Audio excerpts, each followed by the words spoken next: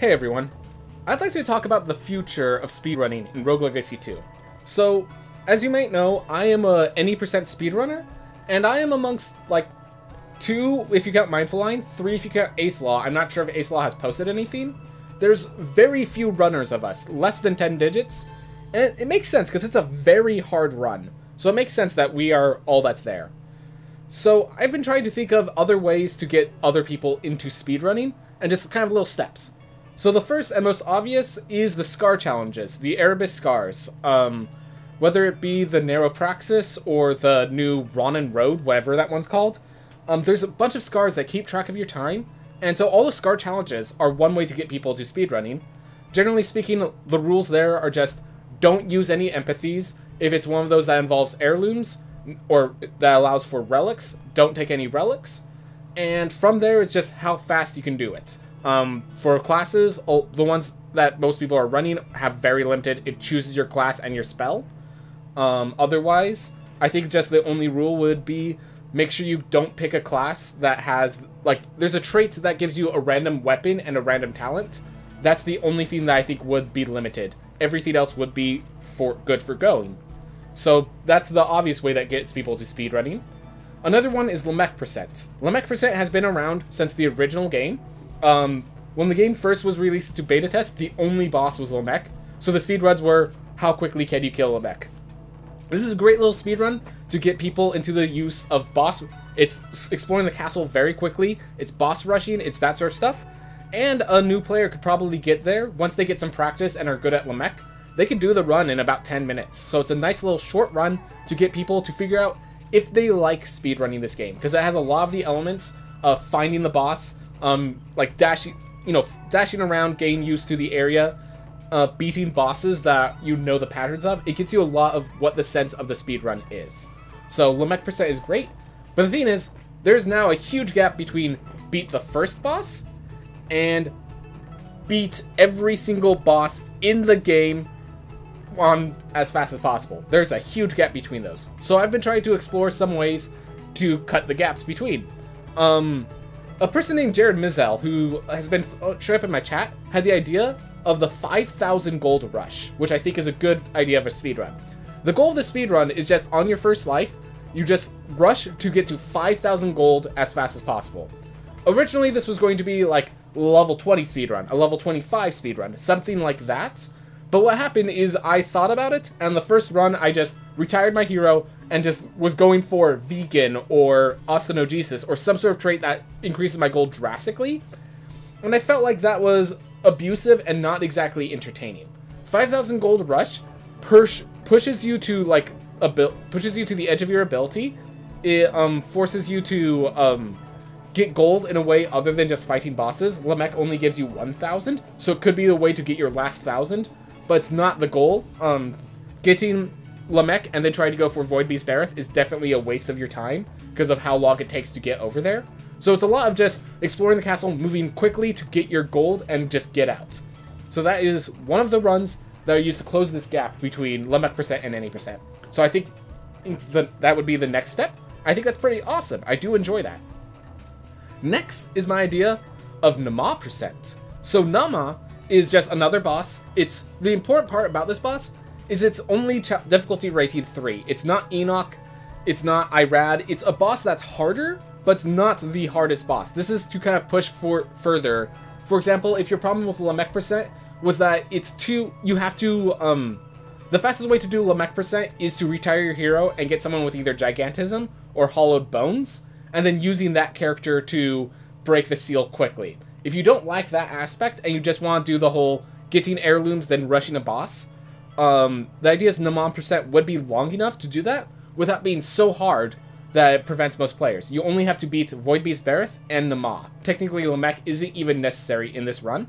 In addition, this pushes you to go all the way from the entrance to the furthest right area of the map. It is a lot of navigation, a lot of exploration as well.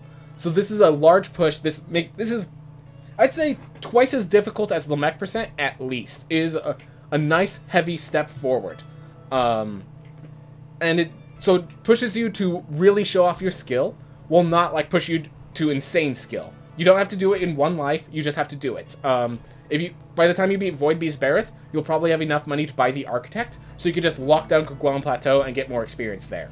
So that I think could be another step. Um, this, whether or not, now that I think about, the more I talk about, this next step might actually be before Naamah percent if you're having issues with it. But I call this one Touch the Sun. So the goal of this is just very simple. You have to enter the room where you face Irad. You don't have to fight Irad. I'm making sure, because if you have to fight Irad, a lot of people would die in that process. So I do not want to do that to most people. So, Irad, I just want you to enter the room, because the process of climbing Sun Tower is going to get you really good at navigating the castle. Because first, you have to get the Void Dash heirloom, because you can't get through that door without Void Dash, and if you do, there is a way through Count Clown Therapy, which you can actually um, spin kick to get up Sun Tower. But then you still have some issues of, um, you still need to get the Echo Kick anyways, and when you get to those Void Bells, like, there's gonna be room, it's gonna be really hard to get rooms where you don't need the Void Dash orbs to get through to the top. Getting to the top of the Sun Tower is very hard, but it's also very rewarding, and it allows you to like explore the castle really well. I think that that makes a really good, uh, um, basically that gives you the sense of exploring areas that are far more dangerous than you. And that is something that you're going to have to get used to during speedruns. I think that is a really cool way of doing it. So that's kind of three ways of gaps. So that's, let's see, so we have 5,000 gold rush, we have Naamah percent, and we have um, Touch the Sun as the three new runs. After that, I do want to have a fourth run, which is just House Rules Any Percent. Any percent is insane. Absolutely insane. I would love people to say, like, one of the best ways to practice it is literally to go to House Rules and make it shorter for you. Make it so that if you fall off the set tower, you can trigger flight and fly away. I think it's perfectly acceptable to put on House Rules and still have a very difficult run. Elusive is necessary for our little boxer um, forms, and so having that without having to grab boxer is a great thing. Um, the reduced damage, the reduced health, very important for actually finishing off the boss. Um, like, I could only survive two hits. Like, if you could only survive four hits, that doesn't make it too much easier, it just makes it easier. It's still going to be extremely hard. So because of that, I think that House Rules Any Percent is a nice little stopgap of, I want to do it all. I want to see it all, but I need to get good, and to get good in any percent is a lot of work.